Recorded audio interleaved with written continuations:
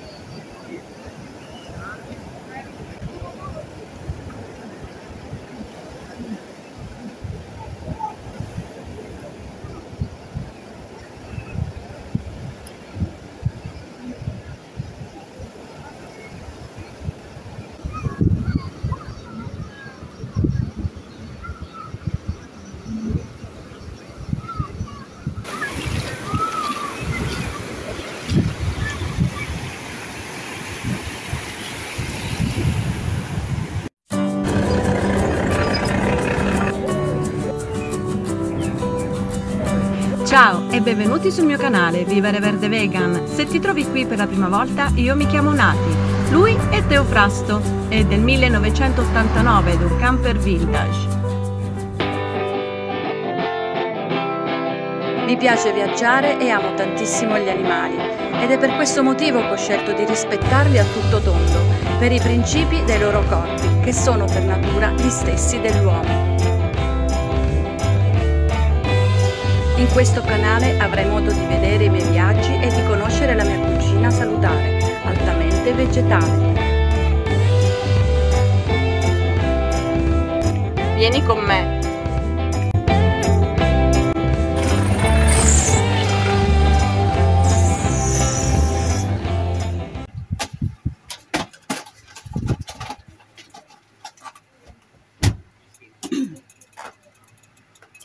Benvenuti sul mio canale Vivere Verde Vegan. Con questo video voglio aggiornarvi sull'assicurazione del mio vecchio camper che si chiamava Gandhi, che fece una brutta fine due anni fa e vi dico che dopo due anni finalmente i soldi sono arrivati.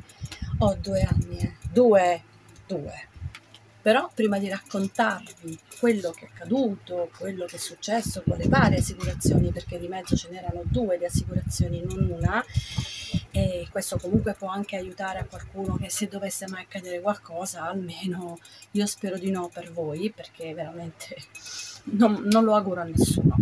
E, però prima io ho fame, sono tornata da poco dalla spiaggia e onestamente ho un buco allo stomaco e siccome qualche giorno fa sono stata al supermercato e ho trovato questi gnocchi all'ortica, mi è subito venuto quella voglia particolare di de magnameli, insomma, ecco questo è il discorso però questa volta non farò nessun sugo, sai, il classico, il classico gnocco al sugo no, e da casa mi sono portata un ciabotto che avevo già preparato, quindi ho detto, ma è avanzato, me lo porto in camper, che contiene zucchine, pomodorini, carota, lo scalogno e patate, però le patate adesso le tolgo perché già lo gnocco lo contiene di suo, non mi va di mischiare la patata con altre patate, e ho fatto un piccolo gioco di parole, eh, vabbè andiamo avanti, eh, facciamo finta che non è successo nulla, e quindi cosa faccio? Um, un aperitivo.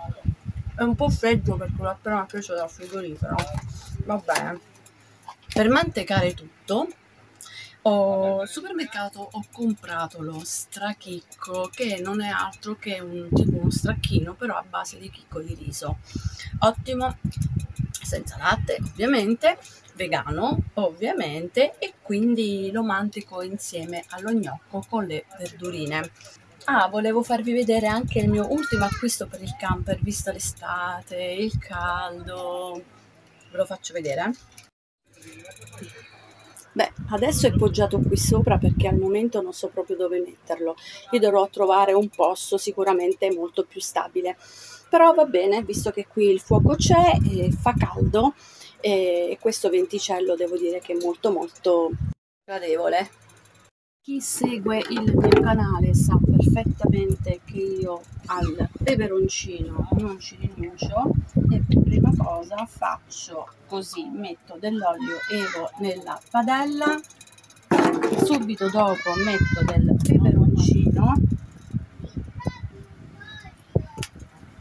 e nel frattempo che l'acqua bolle l'olio col peperoncino si mescolano tra di loro e prende più l'olio prende più sapore.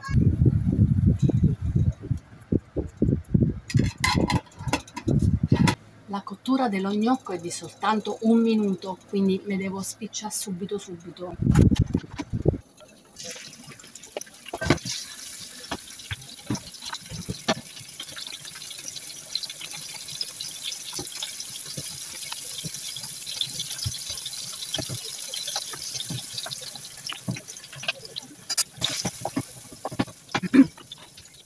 Far squagliare il formaggio mi aiuto con un po' di acqua di cottura.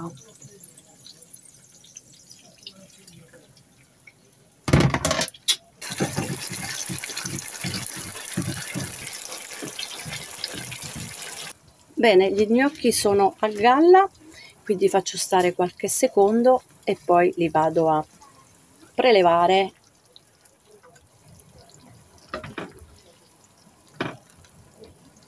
ok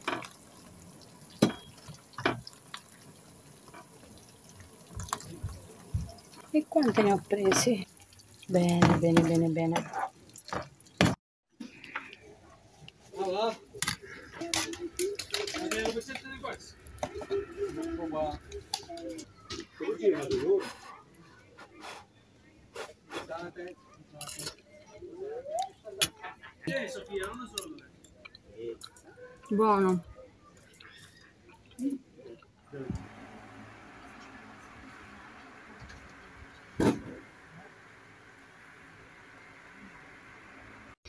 il mio salvavita.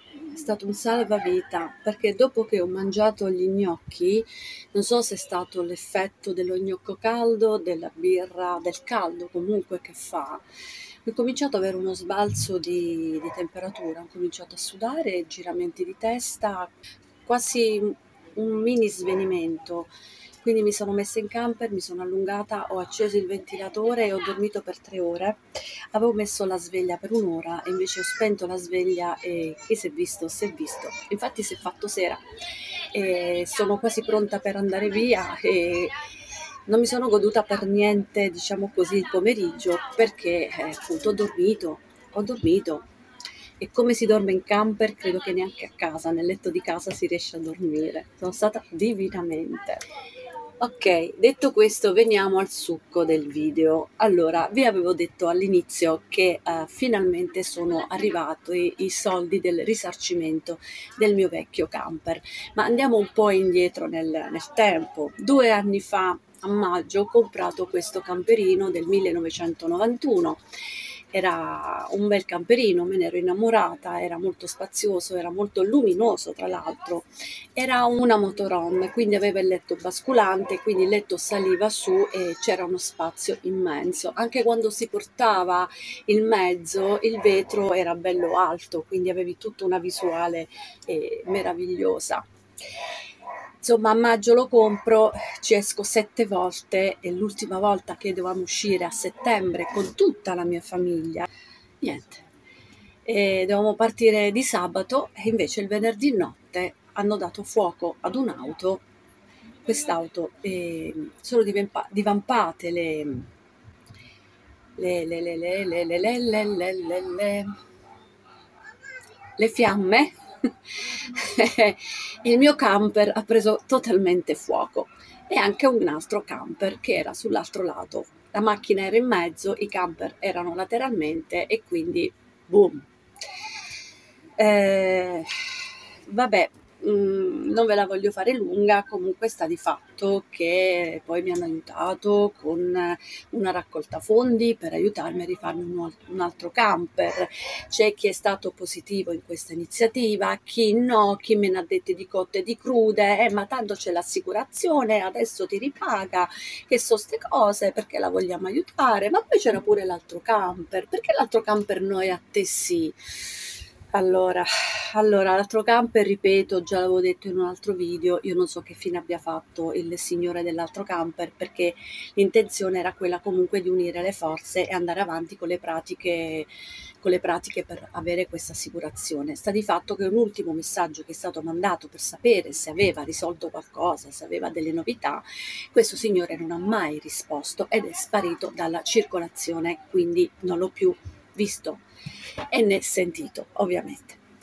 Quindi eh, mi hanno voluto aiutare con questa raccolta fondi, ripeto, me ne hanno dette di cotte di crude, non a me, ma, su, ma, anche a chi ha voluto aiutarmi in questa raccolta fondi, quindi non l'ho creata io, ma l'hanno creata per me, tra l'altro era la terza proposta che mi facevano per fare una raccolta fondi, io le prime due ho detto di no perché non mi sembrava giusto, ma alla terza ho detto vabbè, già che insistono vuol dire che evidentemente c'è qualcuno che ha preso a cuore questa vicenda e ho accettato.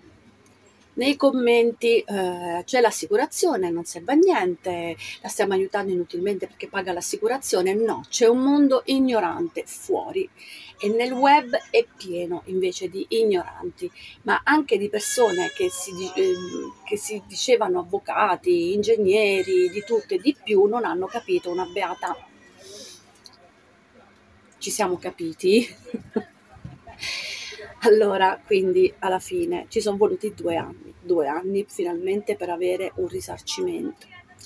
E, mh, cos'altro vi devo dire? Vi dico che um, inizialmente avevamo preso eh, a cuore il fatto di dover riprendere questi soldi da soli, eh, quindi abbiamo chiamato al soccorso stradale che comunque ci sono venuti a riprendere il camper eh, gratuitamente, fortunatamente, perché era proprio da rottamare, non c'era rimasto nulla, era tutto bruciato, tutto scoppiato, tutto, tutto nero. Il tendalino si è salvato, infatti l'ho messo su Teofrasto nel camper che sono dove mi trovo ora e alcuni oggetti che sono riuscita a salvare, tra cui anche questo.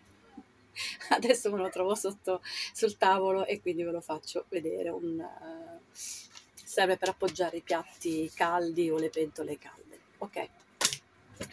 E, ehm, insomma, poi abbiamo chiesto aiuto a, alle vittime della strada.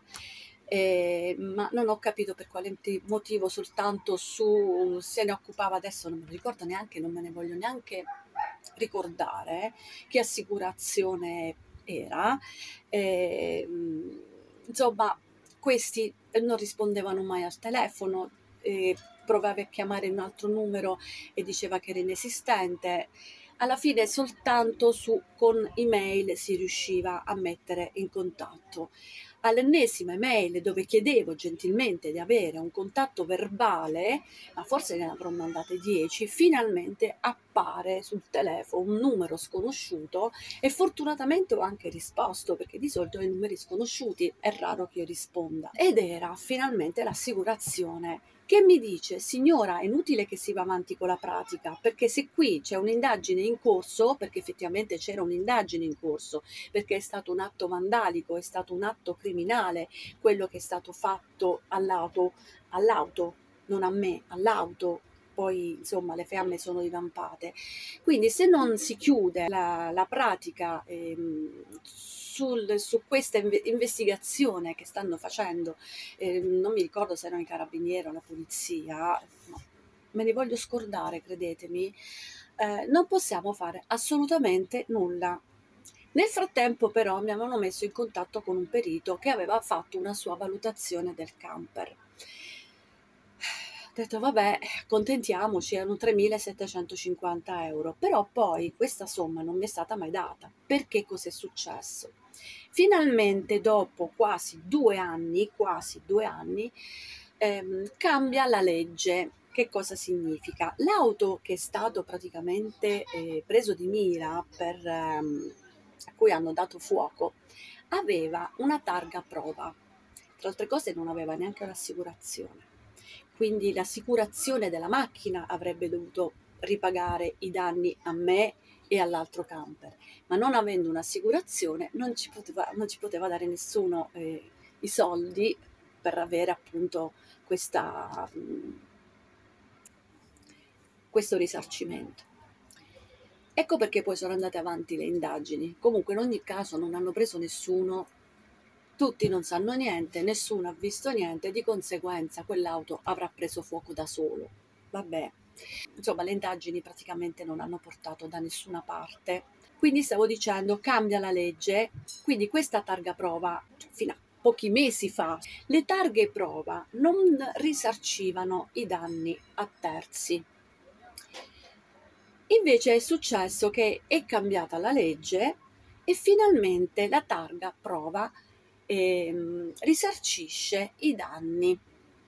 Quindi decade praticamente tutta la nostra richiesta che avevamo fatto alla Consap, che appunto si occupa delle vittime della strada, Ah, nel frattempo, siccome non ci stavamo capendo niente, abbiamo messo la cosa in mano a un avvocato. Ci abbiamo dovuto mettere in mezzo un avvocato perché sono pratiche lunghe eh, dove non ci capiamo niente, va bene. Quindi l'avvocato mi dice guarda è cambiato tutto, adesso c'è la targa prova che ti può risarcire. Quindi in automatico cambia l'assicurazione, il tipo di assicurazione, l'agenzia assicurativa. Beh, nel giro di tre mesi, quattro mesi più o meno sono finalmente riuscita a riavere il mio risarcimento. Io il camper l'avevo pagato 3.400 euro, avevo rimesso le gomme, avevo fatto sistemare il motore, avevo fatto sistemare tutto, avevo rinnovato dentro, mh, mm, avevo disegnato fuori, quindi avevo anche eh, a livello materiale di, di sistem- per risistemare il camper internamente avevo speso dei, co- dei, dei, dei soldi, eh, quindi per, per, l'arredamento, per uh, i cuscini, e, che vi devo dire, le coperte, qualsiasi cosa. Adesso chi ha i camper sa che è una casa e quindi va completamente riarredato il camper, anche se è piccolo, ma comunque qui dentro è pieno, pieno, pieno di oggetti. Detto questo, eh, il nuovo perito invece mi, mi fa valutare il camper 4.500 euro. Eh, ok 4.500 per quanto riguarda il camper 5.500 totale ma 1.000 sono andati praticamente all'avvocato. Quindi io ho ripreso finalmente eh, una parte una parte dei soldi che avevo eh, speso investito diciamo così per questo, per questo camper io non la vedo più una spesa ma la vedo più che altro un investimento perché il camper ti dà modo di viaggiare e, e quindi è un investimento sulla qualità della vita sui posti che vuoi vuoi visitare e quindi non, è, non sono soldi persi sicuramente. E I soldi che poi mi hanno dato eh, le persone che mi hanno aiutato durante questa raccolta fondi, io poi li ho riutilizzati per comprarmi subito Teofrasto qui dove sono adesso, ma potevo aspettare due anni per potermi ricomprare un camper. Io quando me l'hanno distrutto, dopo neanche tre mesi, perché l'ho comprato a maggio, giugno, luglio, agosto, settembre, me l'hanno distrutto, considerando che maggio e giugno, l'ho, due mesi, gli avevo fatto tutti i lavori, andavo tutti i santissimi giorni a sistemarlo il camper, però io l'ho preso esattamente il primo di luglio il primo di luglio, l'ho preso di due anni fa e quindi me lo ricordo perfettamente, mi ricordo anche il posto dove eravamo, quindi zona di mare, bellissimo. Quindi io alla fine quel camper l'ho usato solo per tre mesi e dopo tre mesi vedo che comunque non c'è più. E quindi c'era quella voglia di rifarmi immediatamente di ricomprarmi questo un nuovo camper perché avevo ci avevo messo tutta l'anima in quell'altro e ce l'ho rimesso anche qui dentro quindi, detto ciò, alla fine eh, in tasca mi sono ritornati 4.500 euro. Considerando che comunque ne avevo spesi quasi 6.000, eh, vabbè, tra le altre cose vi dico che ho tolto su strada Teofrasto, l'ho messo all'interno di un rimessaggio e mi sento anche molto più tranquilla perché due anni fa, quando io mettevo il mio Gandhi in un'altra parte, lo mettevo in una via vicino casa. Ci sono state le persone che si sono lamentate, mo il camper, mo di qua, mo di là. Tra l'altro un tizio particolare ha incominciato a puntarmi dicendo che il camper là non ci poteva stare, eh, blim blom bla cicci bu bu e io sono andata a mettere il camper dove poi ha preso fuoco quando ho ripreso Teofrasto, questo camper, l'ho rimesso vicino casa. Non vi nascondo che anche lì ho avuto delle problematiche. Eh, ma adesso il camper dobbiamo fare in modo che non ci si parcheggi e ho trovato il, fine, il fanalino rotto. Eh, un paio di volte non sono riuscita ad uscire dal parcheggio perché mi si erano proprio attaccati, non riuscivo proprio a fare manovra, proprio a dispetto. E quindi che ho fatto? L'ho rimesso nella via dove lo vedevo direttamente da casa mia e lì c'è stato questa stessa persona che due anni prima mi aveva puntato e ha ricominciato. No signore, il camper qui non ci può stare, io non ci ho visto più, mi sono arrabbiata, ma non poco, ma veramente tanto. Avete presente quelle persone al mercato? Eh, ecco, lì. E questa è rimasta a bocca aperta e mi fa signora faccia finta che non le ho detto nulla però a me questa cosa mi è rimasta e quindi per paura di dover spostare nuovamente il camper me l'hanno bruciato una volta, ma finì che adesso me lo rubavano e tanto la vita è piena di sorprese, no? Quindi eh, l'ho messo all'interno di un rimessaggio. Sono più tranquilla, quindi vado, ho la mia scheda per aprire il cancello, posso entrare e uscire quando mi pare, pago all'incirca un 40 euro al mese, eh, però almeno sto, sto tranquilla. E quindi niente, questo è quanto. E finalmente il risarcimento c'è stato, quindi chiudendo il discorso, sappiate che la legge è cambiata, le targhe prova adesso possono risarcire i danni. Va bene, io vi saluto adesso tolgo tutto perché me ne voglio andare da qui. Dal secondo giorno sono arrivate famiglie rumorosissime, forse si sente anche nel sottofondo mentre parlo e sinceramente mi, sto, mi sta stretta questa confusione, non, non la sopporto. Quindi ehm, io vi saluto e ci vediamo nel prossimo video.